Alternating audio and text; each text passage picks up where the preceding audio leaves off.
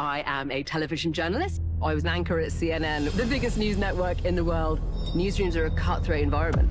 I can be savage.